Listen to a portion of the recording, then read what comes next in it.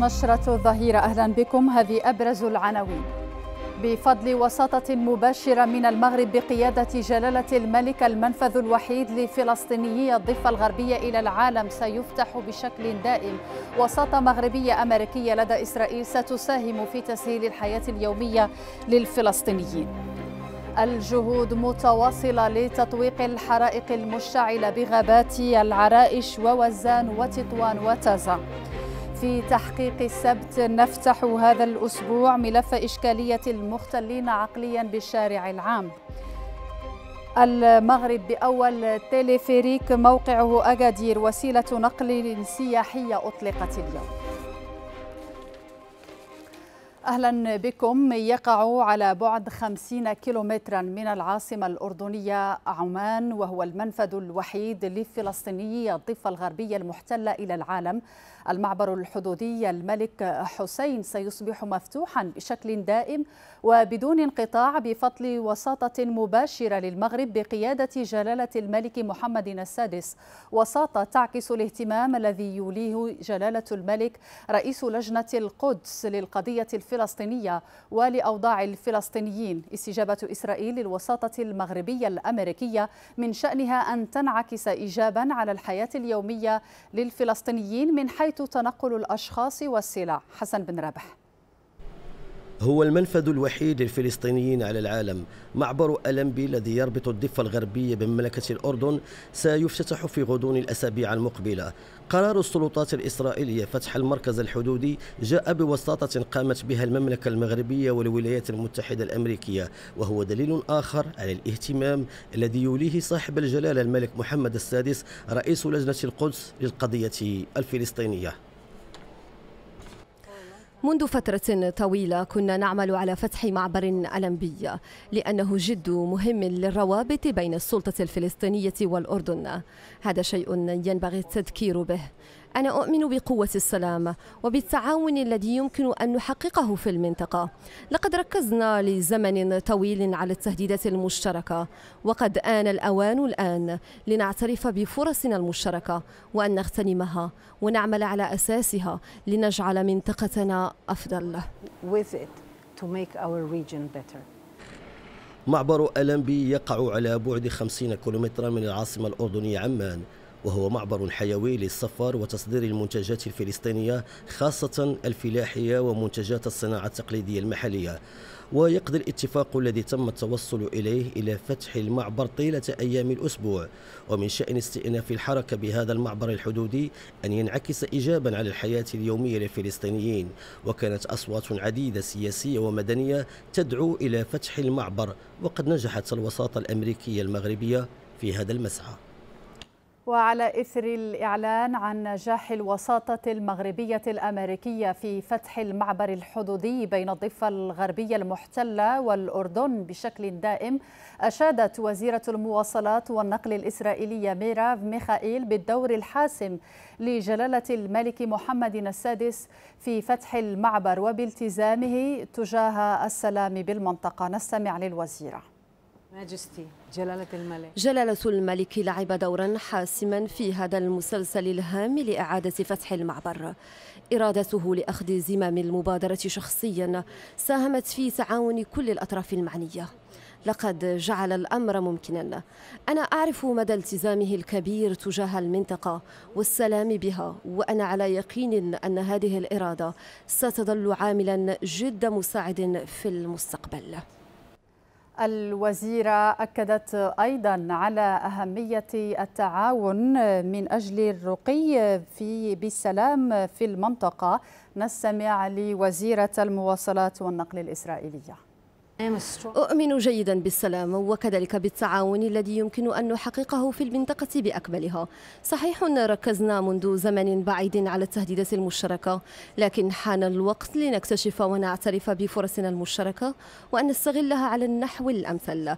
وأنا على يقين أنها ستجعل منطقتنا أفضل. ولمناقشة هذا الموضوع ينضم إلينا مباشرة على الهواء من مكتبنا بالرباط السيد المساوي العجلاوي دكتور باحث بمركز إفريقيا والشرق الأوسط للدراسات. دكتور المساوي العجلاوي أهلا بك. لماذا هو بهذه الأهمية فتح جسر الملك حسين بصفة دائمة؟ كيف سينعكس ذلك على الجوانب الاقتصادية والاجتماعية والمعيشة اليومي للفلسطينيين؟ أهمية هذا المعبر الذي يسمى معبر الملك حسين أو اللمبي بالنسبة للإسرائيليين أو معبر الكرامة بالنسبة للفلسطينيين هو له أهمية كبيرة على مستوى الترابط أو الارتباط اليومي بين الفلسطينيين والأردنيين. هو المعبر الوحيد الذي يربط الضفة الغربية بالأردن. وكما جاء في الروبورتاج أن إمكانية ديال فتح المعبر يمكن أن ترفع الهم والألم عن الشعب الفلسطيني في الضفة الغربية. فلذلك أنا أعتقد أن هذا العمل هو الفتح الكامل 24 ساعة على 24 ساعة هو له أهميته بالنسبة كذلك لتطبيق اتفاق كان يعود إلى اتفاقات أسلو العام 1995 ما هو بالتأكيد ومن خلال تصريحات جميع المسؤولين بما فيهم المسؤولين الإسرائيليين هو أن هذه العملية عملية فتح المعبر هي نتيجة مفاوضات امتدت على أشهر واعتقد لأن الأمور جارية بسرعة ربما زيارة الرئيس الأمريكي للمنطقة وتدخل جلالة الملك في هذا المجال قد سرعت بهذه المفاوضات إلى إعلان وزيرة النقل الإسرائيلية بهذا الخبر الذي سيكون بالتأكيد سعيدا للفلسطينيين. طيب الوساطة المغربية بقيادة جلالة الملك محمد السادس التي أتاحت هذا القرار ليست مبادرة معزولة هي تدخل في إطار جهود متواصلة وأهمية خاصة توليها المملكة من أجل رفع المعاناة عن الشعب الفلسطيني وإيجاد أفق جديد للمفاوضات على أساس حل الدولتين؟ المغرب واضح في موقفه تجاه القضية الفلسطينية. أذكر فقط بالرسالة الملكية إلى الرئيس محمود عباس في نوفمبر 2020 بعد الاتفاق الثلاثي والذي أكد فيه على أن القضية الفلسطينية في مستوى القضية الوطنية المغربية. هناك عمل في في خارج الواجهات والارتباط والاتصالات من أجل دفع القضية الفلسطينية المغرب دائما يؤكد من خلال تصريحات عدة أن فتح القضية الفلسطينية وحل القضية الفلسطينية هي المفتاح الأساس للصراع في الشرق الأوسط من أجل حل الدولتين وأيضا من أجل أن يكون هناك نوع من الاستقرار في المنطقة. ما العمل الذي قام به المغرب من خلال تدخل جلالة الملك يؤكد كذلك على أن تأكيد لقوة وسلطة القضية السلطة الفلسطينية وأيضا الاقتصاد الفلسطيني وللجانب الاجتماعي. المغرب دائما يؤكد بالعمل وليس بالشعارات. بالعمل وليس بالشعارات أن القضية الفلسطينية هي ركن أساسي من العمل الدبلوماسي الفعلي والمغرب بحكم قوته وعلاقاته وارتباطاته الكثيرة. يمكن أن يعطي الكثير للقضية الفلسطينية. أذكر فقط كذلك أنه بعد الاتفاق الثلاثي جاء إسماعيل هنية زعيم حماس إلى المغرب. وهذه الزيارة كانت تحمل إشارات متعددة أن المغرب يمكن أن يلعب دور كبير إلى حدود أن بعض المواقع الصحفية وبعد التحاليل أشارت إلى إمكانية أن يتحول المغرب إلى أرض السلام بإجراء مفاوضات بين الإسرائيليين والفلسطينيين. تفضل بالبقاء معنا الدكتور المساوي العجلاوي. سأعود إليك في هذه النشرة. وقرار فتح معبر الملك حسين بين الأردن والضفة الغربية المحتلة بشكل دائم بحلول شهر سبتمبر المقبل من شأنه التخفيف من معاناة الفلسطينيين وتسهيل معيشهم اليومي وتنقلاتهم ونقل بضائعهم. كيف تلقى الفلسطينيون هذا النبأ؟ نتابع روبورتاج مراسلنا صبحي أبو زيد من فلسطين. ضمن الجهود المستمرة التي يوليها صاحب الجلالة الملك محمد السادس للقضية الفلسطينية وبفضل وساطته المباشرة قررت السلطات الإسرائيلية فتح المعبر الحدودي الذي يربط الأراضي الفلسطينية بالأردن بدون انقطاع. من هنا نؤكد بأن موقف المغرب باتجاه شعبنا الفلسطيني هو موقف مؤيد ومشجع وكثيرا من المشاريع الخيرية الإنسانية قدمتها المغرب بقيادة الملك. ونحن هنا كفلسطين نشكر المملكة المغربية على جهودها المستمرة إلى دعم شعبنا الفلسطيني.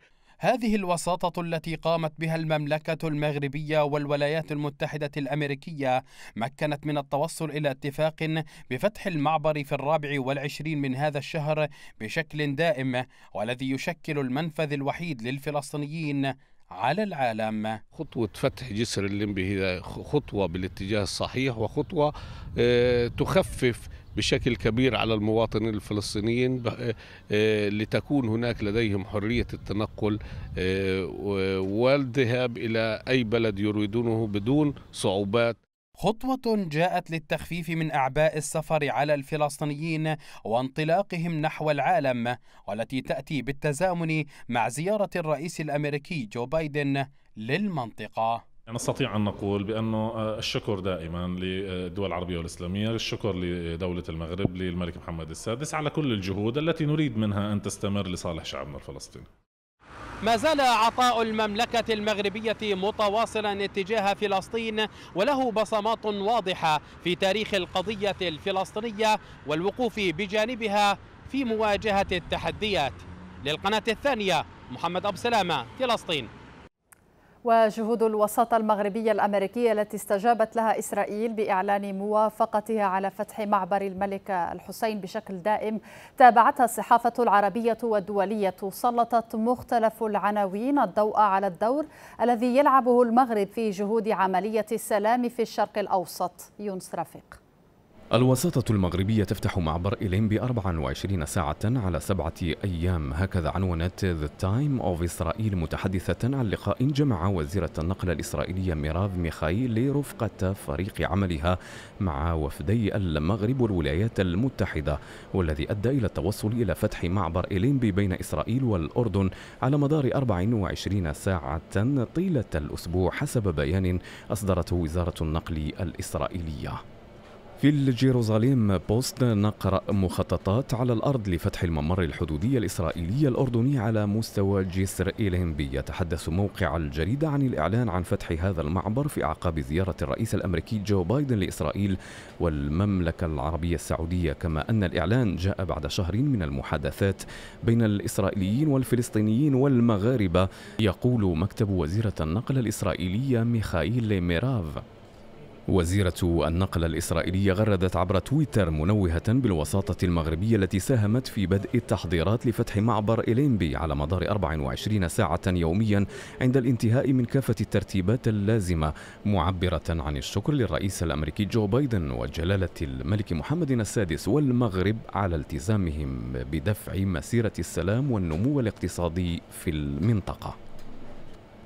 وسطة الملك محمد السادس أثمرت فتح معبر إلينبي تعنون اليومية الإيطالية فارو دي روما وتتحدث عن الالتزام المستمر من قبل المغرب تجاه القضية الفلسطينية ورفاه الفلسطينيين الذي أثمر اليوم بفضل الوساطة المباشرة للمملكة المغربية والالتزام الدبلوماسي المغربي بقيادة الملك محمد السادس رئيس لجنة القدس فتح المعبر الحدودي إلينبي المهم للغاية. إسرائيل تفتح جسر الملك حسين بعد وساطة مغربية. يعنون موقع قناة الغد مضيفا بأن الوساطة التي قامت بها المملكة المغربية والولايات المتحدة الأمريكية أسفرت عن التوصل إلى اتفاق من أجل الفتح الدائم للمعبر الذي يشكل المنفذ الوحيد للفلسطينيين على العالم. إسرائيل تتجه لفتح الحدود بين الضفة والأردن على مدار الساعة استجابة لوساطة مغربية حسب ما قال بيان للحكومة الإسرائيلية. تكتب تايم تورك نقلا عن وكالة الأناضول ويفصل المعبر بين الضفة والأردن. يطلق عليه الفلسطينيون اسم الكرامة فيما يسميه الأردن باسم جسر الملك الحسين. أما إسرائيل فتطلق عليه اسم إلينبي وسيتم فتح المعبر استجابة لوساطة مغربية تكتب الأناضول.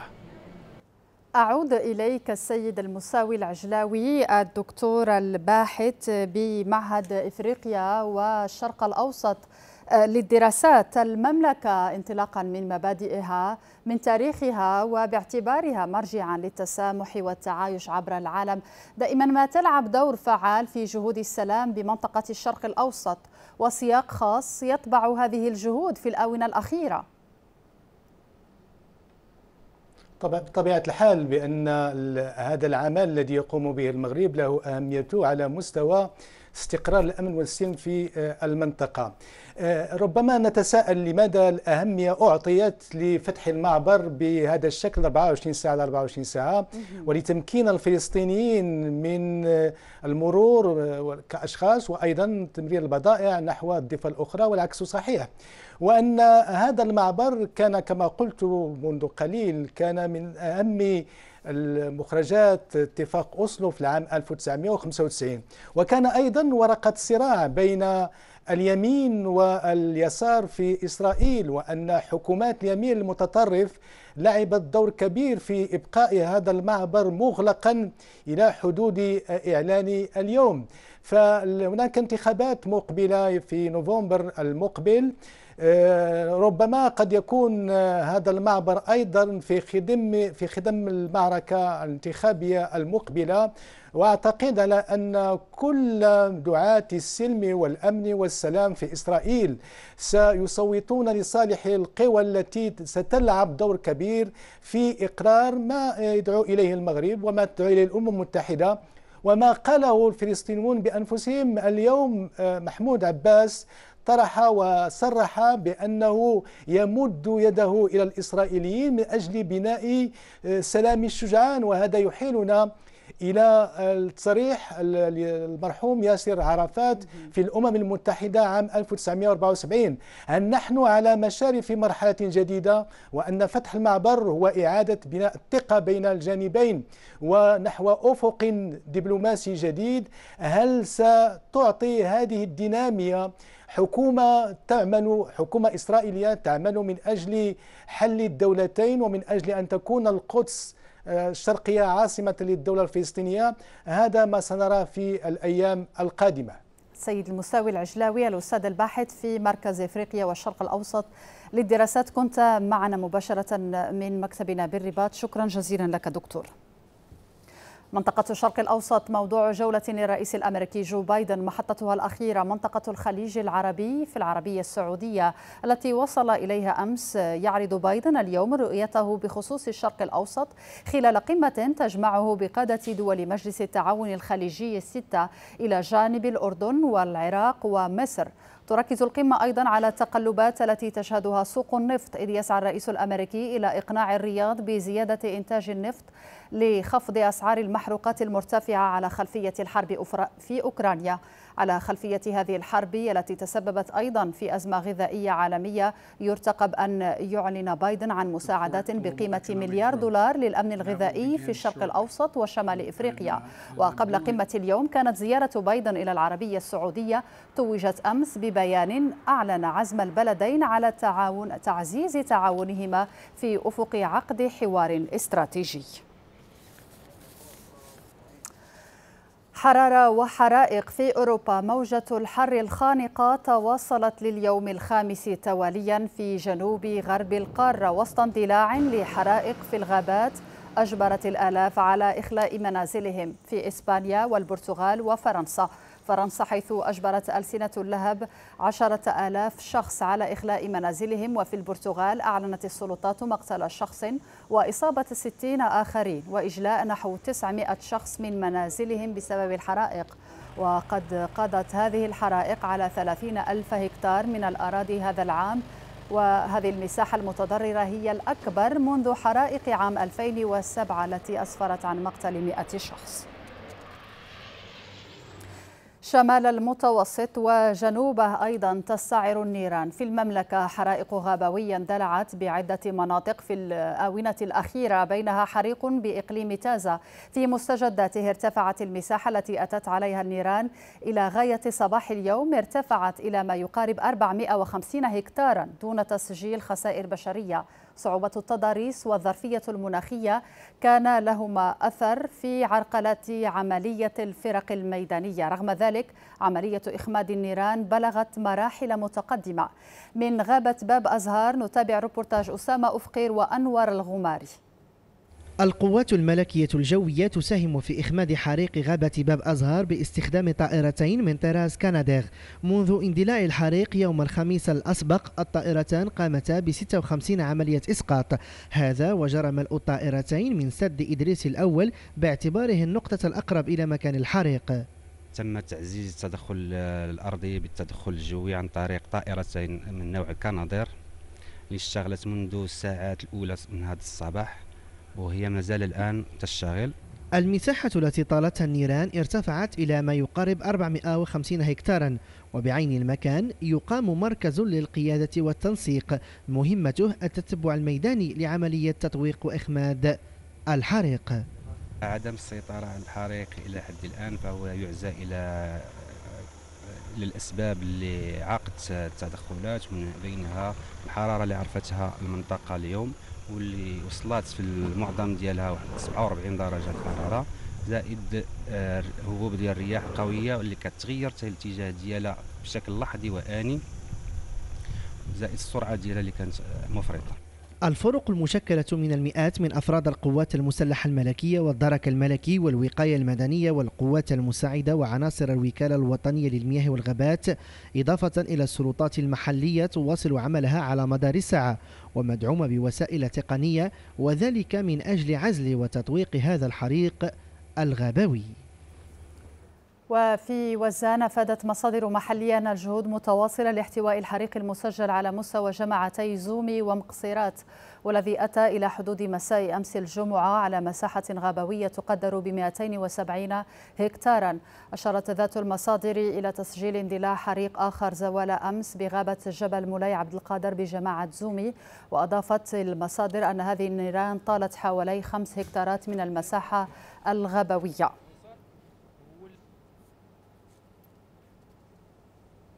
وفي تطوان أفادت مصادر محلية بأن حرائقا دلعت بغابة بني الدر وقد أتت على مساحة من الغطاء الغابوي تبلغ عشر هكتارات.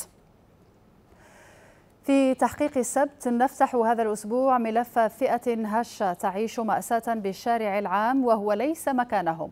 المختلون عقليا من الذكور والإناث يجوبون الشوارع وفيها يتعرضون لمختلف مظاهر العنف فماذا عن بنيات استقبال المخصصة لهم؟ تحقيق حسن الحمدي ومحمد نجيب.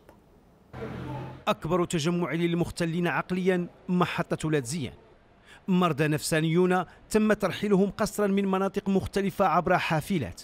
مصطفى الفشتالي مستخدم بشباك التذاكر مستاء من هذا الزحف الذي يؤثر على نشاط أكبر محطة بالمغرب. كيجيبوهم من الفاس كيجيبوهم من الناظور كيجيبوهم من التطوان كيجيبوهم كي لحوم هنا في الربعة ديال الصباح في الخمسة ديال الصباح. فاش كيحطوا هنا راه كيخلقوا عدة مشاكل. تلوث بيئي عنف جسدي يمارس عليهم كما يعتادون بدورهم على المرأة ونحن ننجز هذا التحقيق كاميرا الهاتف النقال ترصد شجارا بين مختلين وسط تدفقات المسافرين. كار ديال 480 مليون ولا 500 يعني لك دجاجه ما غتستافد منه والو. مثلا كنفيقوا مثلا في الصباح كنجيو للمحطة كنلقاو جوج ديال الشبابيك مهرس يقدر يضرب مواطن يجرحه اذا من حنا غنردوا المسؤوليه هذه ميل المسؤول عن تهجير أشخاص يعانون من اضطرابات نفسية من المفترض أن يخضعوا للعلاج في مراكز خاصة. سؤال يطرحه بعض الحقوقيين بعد إغلاق بويا عمر وتدشين مستشفى الأمراض العقلية بقلعة السرغنة في سنة 2018 لنسائل السيد الوزير كحقوقيين ما جدوى من بناء مستشفى. صرفت عليه مبالغ مالية ضخمة وبتكلفة مالية كبيرة ولا يقدم أي خدمة استشفائية داخل آه، المدينة. إذا ما علمنا أن مدينة قلعة السراغنة هي محج المجموعة من المختلين العقليين الذين يجوبون المدينة بدون حاسب ورقيب اعتداءات المرضى النفسانيين في وضعية الشارع تتصدر عناوين الصحف الوطنية. قلعة سراغنة الدار البيضاء طنجة. مدينة أسف هي الأخرى تحولت إلى وجهة للمختلين عقليا. كنشوفهم كيتعرضوا لي زاكسيدون حوادث السير وكذلك هما كيولوا كيضربوا المرة. وبالتالي هذا المشكل هذا مشكل استفحل بزاف في مدينة اسافي هنا بالمركب الاجتماعي لتطميل اقليم مديونه يقيم 350 مريضا نفسيا إلى جانب 300 آخرين من فئات اجتماعية أخرى يتعايشون فيما بينهم لكنه تعايش هش. محمد بن جلون المسؤول عن هذه البنية مستاء من هذا الوضع. جاو من بويا عمر جاو من من 36 كيجريو عليهم وكيجمعوهم الدوريات وكيجيو يحطوهم هنا. كيستعملوا العنف. هو المشكل ديالهم هما الأدوية ديالهم خصك تلقاها العام كله. إيه، وكتاحوا غاليين الفئه اللي عندنا. ويا اسفا كنتاسف باش نقولها. ما ديجا هذا يبو با انتيغري المجتمع. من بين الداعمين للمركز مجلس مدينة الدار البيضاء.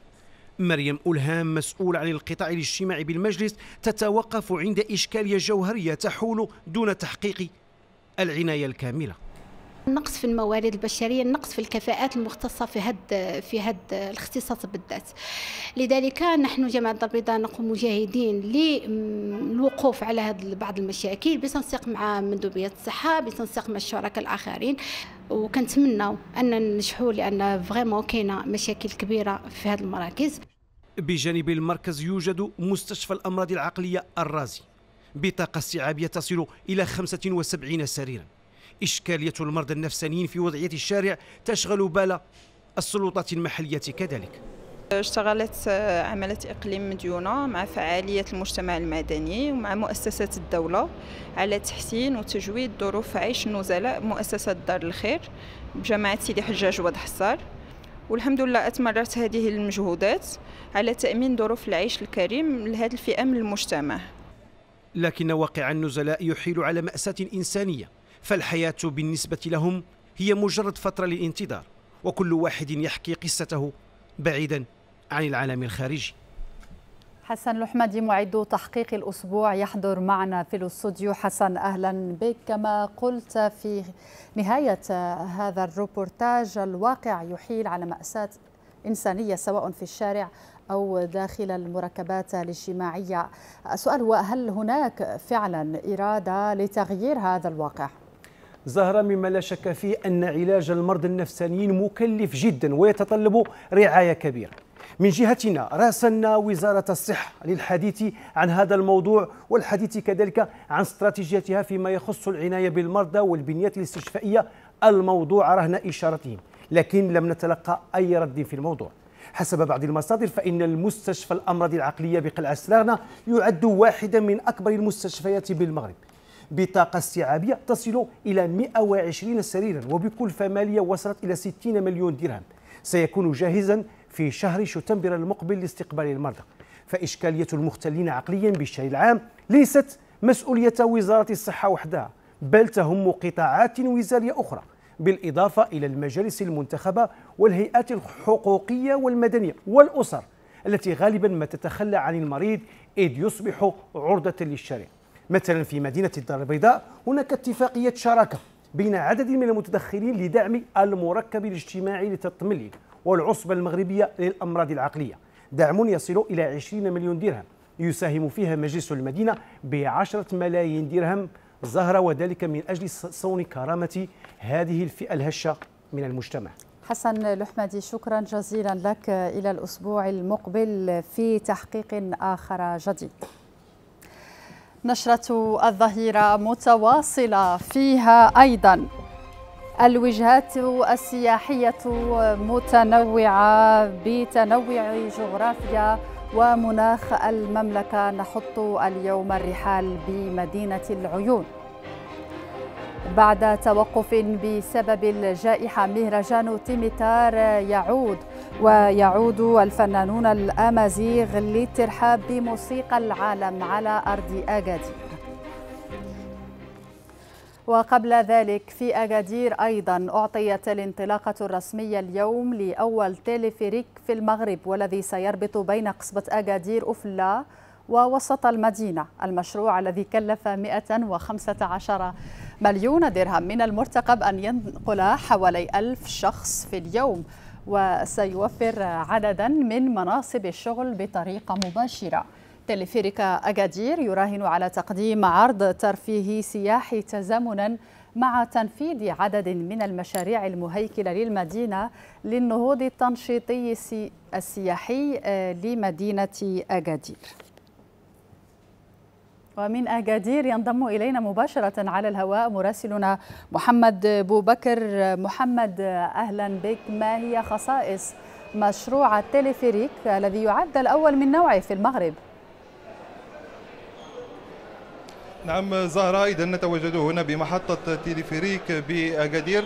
هذا المشروع السياحي الذي أعطيت انطلاقته الرسمية اليوم. سيمكن قاطني المدينة وزوارها من يعني إطلالة من الإطلالة الباهية للشاطئ والتي سيوفر هذا المشروع على مسافة 1700 متر. إذا الزهرة كما تشاهدون هنا في هذه الصورة التي ينقلها لكم الزميل رفيق قمات مجموعة من العربات المعلقة تنطلق من هذه المحطة صوب قصبة أكادير أوفلا. هنا كذلك يعني قاعة المراقبة. حتى تكتمل الصورة يعني الزهرة سنحاول القيام بجولة عبر هذه العربات نحو قصبة أكادير أوفلا. وكذلك يعني ظهر اليوم تم يعني عقد ندوة صحفية تم من خلالها التطرق لخصائص هذا المشروع ومجموعة من المعطيات التي تخصه للخوض في تفاصيل هذا الأمر. يعني معي هنا عزيز حويس صاحب المشروع. إذا سي عزيز بغينا نسولوا على الخصائص ديال المشروع وكذلك يعني الأثمنة اللي تم تحديدها من أجل هذه الخدمة. بسم الله الرحمن الرحيم. يعني الخصائص ديال المشروع متعددة. المشروع يتميز اولا بأنه يربط مدينة أكادير بالقصبة ديال أكادير وفلا قصبة ديال أكادير وفلا للعمر ديالها بعض مئات السنين. القصبه ديال أكادير وفلا عندها واحد الأهمية تاريخية عندها واحد الأهمية وجدانية بالنسبة للساكنة ديال أكادير. عندها واحد الأهمية حضارية ثقافية بالخصوص أنها في الحلة الجديدة ديالها في إطار البرنامج الملكي اللي آه، آه، تم الانطلاق ديالو في الزيارة ديال صاحب الجلالة ديال 2020 طيب السي عزيز ماذا عن الأثمنة ديال هذه الخدمة؟ يعني شحال تقريبا باش غادي توفروا هذه الخدمة ديال تيليفيريك تقريبا هاد الخدمة ديال هاد الانطلاقه حددناها في 80 درهم ذهابا وايابا. يعني هذا الثمن ما كانش عشوائي وما كانش كان مدروس جدا. يعني اعتبارا لواحد المجموعة من المعطيات. وإن شاء الله الرحمن الرحيمين آه، من من من تقريبا من نهار 15 شتنبير غادي يكونوا شي تخفيضات تحفيزية على الساكنة ديال أكادير وعلى الناس اللي سميتو في بعض الأيام إن شاء الله غادي نديروا شي تحفيزات وغادي نديروا شي تخفيضات إن شاء الله. شكرا جزيلا عزيز حويس صاحب مشروع التليفريك بمدينة أكادير. اذا زهرة هذه الرحلة عبر التليفريك للوصول إلى قصبة أكادير وفلا ستدوم ست دقائق فقط وهذا المشروع يعني أحدث استجابة للتعليمات الملكية السامية والتي يعني دعت لايلاء مدينة أكادير وجهة سوس عموما للمكانه التي تستحقها خاصة وأنها تعد بمثابة حلقة الوصل بين شمال المملكة وجنوبها زهرة. ولطول مدة الرحلة بالنظر إلى وقت النشرة لن نتمكن محمد للبقاء معكم للرسو في المحطة محطة الوصول. شكرا لك محمد. كنت مباشرة معنا من تلفريك مدينة أكادير. ومؤهلات المغرب السياحية متنوعة بتنوع جغرافيته ومناخه في الجنوب. مدينة العيون قبلة سياحية بمؤهلات خاصة على رأسها الرمال. من اليحيوي السواعات الأولى من الصباح يستعد محمد سيدي للتزلج على الرمال متحديا غضب زحفها.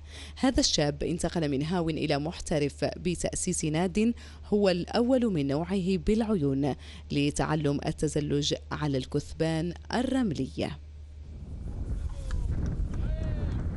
دابا ست سنوات ولا خمس سنوات دائما دائما كنجي نلعب ال sandboarding منين ما كتكون الموجة في البحر كنجي ن surfer هنا. لأن ال sandboard و le surf عندهم واحد التناسق بيناتهم لأنه في l'équilibre في ياسر من المسائل وخصوصا هنا في العيون لأنه قليل من النوبات فين كيكون الموج. بعض المرات ما كيكون الموج. كنجيو هنا تياها كيكون الجو زوين. أبجديات تعلم التزلج على الرمال أساسها الشجاعة التركيز وخفة الحركة. إلى جانب أنها رياضة للقوة العضلية فهي أيضا وسيلة لتقريب الشباب من حياة أجدادهم الرحل التي لم يألفوها. بما أننا ساكنين في منطقة صحراوية فيها الأغراد وعايشين هون وجدادنا كل شيء كنجو نمارسو الساند بوردينغ وهذه واحد l'expérience اللي زوينة بالنسبة ليا تعلمت ياسر من المسائل. أه، تجربة ال sandboard خلتنا نلمسوا ياسر من المسائل اللي كنا كاع ما كنعرفوهم بحكم أن عنا عايشين في المدينة منا عايشين في البادية. التزلج على الرمال رياضة تستقطب السياح على مدار السنة فهي لا ترتبط بموسم عن آخر. رياضة وجدها محمد سيدي بديلا عن ركوب الأمواج لممارسة المغامرة وأيضا للتعريف بالمؤهلات السياحية للمنطقة. الأنباء السارة من الرياضة المغربية تتوالى في كرة اليد هذه المرة. المنتخب المغربي تمكن من العبور إلى نصف نهائي كأس أمم إفريقيا المقامة بمصر بعد تغلبه على المنتخب الغيني في دور الربع. أكثر من نصف الكان يعبر هذا الفوز بالمنتخب المغربي إلى نهائيات كأس العالم للمرة الثامنة في تاريخه والثانية تواليا. نهائية تقام ببولندا والسويد المطلع العام المقبل. للحديث عن هذا الإنجاز الرياضي ينضم إلينا مباشرة من القاهرة حيث تلعب نهائيات كأس إفريقيا حاليا السيد العدلي الحنفي رئيس الجامعة الملكية المغربية لكرة اليد. سيدي أهلا بك. نهنئكم أولا على هذا الإنجاز الذي أسعد الجمهور المغربي. بداية تلعبون عشية اليوم مباراة نصف النهاية ضد منتخب الرأس الأخضر هل يمكن أن نطمع في بلوغ المنتخب الوطني المباراة النهائية للمرة الأولى في تاريخه؟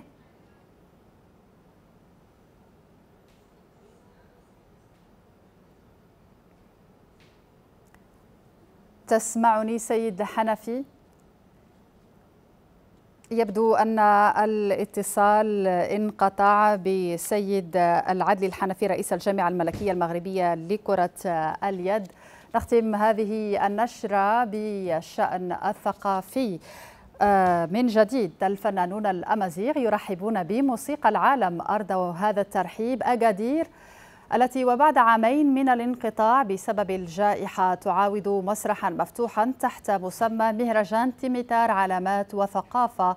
افتتاح المهرجان كان الليلة الماضية. ينقلنا إلى أجوائه. روبورتاج محمد بوبكر رشيد لطفي. قيود الجائحة هذه السنة لم تمنع من تنظيم الدورة السابعة عشر لمهرجان تيميتاره المهرجان يعود ببرنامج ثري يستقبل أكثر من خمسين فنانا بمعدل 16 حفلة موسيقية. على منصتي الأمل والوحدة في مدينة أكاديرة. نحضروا هذه التظاهرة هذه مهرجان تيميتر اللي كيعتبر من بين المهرجانات الفنية اللي قد تقام على مستوى أكادير. ف يعني من بعد الجائحة. الان كاينة واحد حركية ثقافية يعني بدات شوفوا الصور جاي من جميع الجهات المغرب. وكنلاحظوا في هذه المناسبة ديال عيد الأضحى أن الناس جايين من الخارج وهذا كيفرحنا باش نكون مع الجالية المغربية ديالنا. يشارك في إحياء أمسية هذه الدورة العديد من الفنانين. الجمهور السوسي كان على موعد مع عروض فنية امتدت لتشمل ألوانا موسيقية متنوعة. جات مفاجأة كبيرة في الكارير ديالي في المسيرة الفنية ديالي والحمد لله شرف كبير شرف كبير نغني في هذا في هذه الساحة في هذا المهرجان المعروف معروف في المغرب وعالميا عند الأمازيغ كل شيء في العالم تيتسناو هذا المهرجان هذا وتتفرجوا فيه. والحمد لله كأمازيغي شرف ليا كبير. جبت معايا ولاد البلاد ولاد الدوار ديالي. حتى هما جاو جابوا واحد الكار.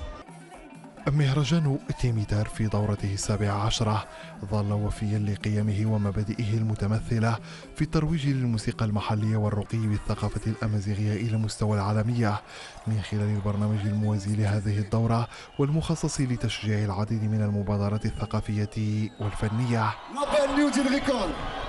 ختام النشرة إليكم تذكيرا بأبرز ما جاء فيها هو المنفذ الوحيد لفلسطينية الضفة الغربية المحتلة إلى العالم.